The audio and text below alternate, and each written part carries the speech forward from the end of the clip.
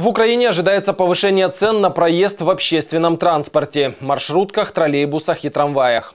Само собой, не избежит этой участи и Одесса. Но вот насколько необходимо уже в ближайшее время повышать цены и чем это аргументируют чиновники, смотрите в нашем сюжете. Идея повышения цен на общественный электротранспорт, трамваи и троллейбусы принадлежит Министерству инфраструктуры. Повышение цены будет носить так называемый инвестиционный характер, то есть благодаря новым тарифам можно будет модернизировать транспорт, обновлять подвижной состав, поддерживать в надлежащем состоянии инфраструктуру. В Одессе с этим сейчас сложно, как с трамваями, так и с троллейбусами. Количество подвижного состава сократилось вдвое по сравнению с пиком развития электротранспорта. А с инфраструктурой вообще тяжело. Как обычно, нет денег. Если говорить сегодня о э, трамвайных путях, то из 198 километров замена в этом году были заменены только 200 метров, в прошлом году 100 метров.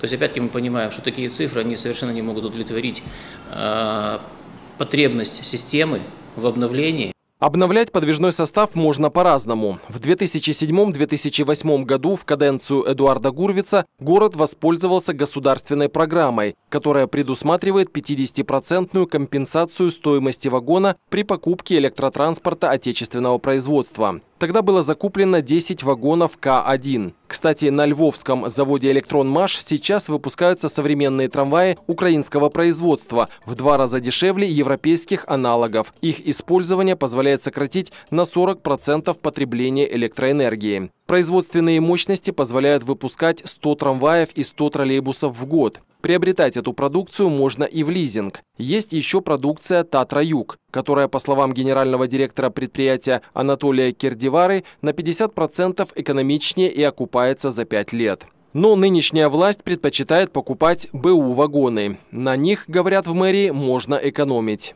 Мы провели аналитику и сегодня уже видим, что содержание нашего вот настоящих, наших троллейбусов, которые у нас были когда-то куплены новыми, мы сегодня эксплуатируем, их содержание, по сути, сегодня намного дороже, чем содержание тех троллейбусов, которые мы приобретаем уже бывших в употреблении, скажем, в Чехии. И сегодня, если чисто экономически это рассчитывать, то, в общем-то, вот эта программа обновления таким образом транспорта является действительно очень перспективным Одесситы, в общем-то, разделились во мнении, стоит ли повышать цены на проезд на все виды транспорта сразу. Одни пожимают плечами, да, конечно, нужно повысить, ведь цена на топливо для тех же маршруток выросла, но и зарплаты стоило бы поднять. Другие же считают, что если цена повысится, то желательно, чтобы те же маршрутки стали комфортнее и безопаснее. Ну, наверное, надо повышать. Э, э, немножко, чтобы хотя бы в маршрутке повысить для того, чтобы хотя бы немножко цивильнее мне было, потому что очень грязно. Я другой раз езжу на поселок, очень грязно в маршрутках. Дышать просто невозможно летом, вентиляции никакой. Ну, если бензин дорожает, то и, наверное, ж надо и в маршрутках дорожать. Я так понимаю, что ударит в основном по населению, которые, так скажем, имеют небольшой доход. Потому что люди, которые имеют большой доход, они в большинстве случаев э, ездят на собственном автомобиле. Мы действительно думаю, что это плохо, потому что некоторые люди не зарабатывают столько, чтобы ездить э, за повышенную цену. И так 2,50 достаточно много. Не, ну там говорили, что дорожают же шины, бензин, обслуживание, а 2,50 это минимум. А, цен, э, а зарплаты не повышаются. Очень печально. При всех этих ценах должна быть стоимость проезда 5 гривен на маршрутках, ну ладно. Ну да, печаль. В общем, это вот очень так. плохо. Я только за. Чего? Потому что, во-первых, пускай берут 50 копеек, вот эти вот никому не нужные. Вот. Во-вторых, э, как бы они тоже люди, им тоже нужны тоже зарабатывать. Я просто, у меня знакомый общался с ним, ну, как раз заведует марш, марш, маршрутками и так далее. Он объясняет просто по финансам очень неприятно. Ну, или пускай город спонсирует, и за счет этого не повышает цены. Других я не вижу вариантов. Негативно, конечно, что можно думать.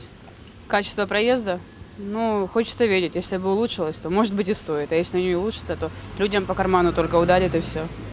В мэрии инвестиционную составляющую, о которой говорилось с самого начала, приветствуют. Главное, чтобы она была правильно реализована. Правда, руководство города само не в курсе, что подразумевается под формулировкой «правильно реализовано». Каким образом эта составляющая будет наполняться за счет, скажем так, каких-то возможностей государства, то есть, может быть, будет какая-то компенсация, муниципальные возможности – Трудно сегодня сказать. Это будет зависеть от того, каким образом этот э, проект будет реализован. А одесситам, похоже, стоит свыкнуться с мыслью, что проезд теперь станет дороже. Но вот безопаснее и комфортнее – это можно будет проверить только спустя некоторое время. Анатолий Косин, Вячеслав Лаштаба, Евгений Войтенко, телекомпания «Круг».